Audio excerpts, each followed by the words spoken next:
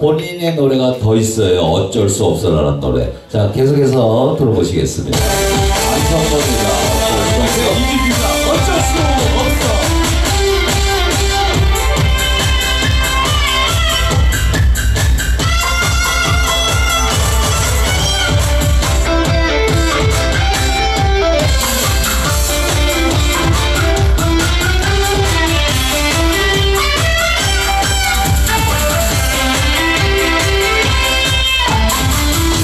just for me.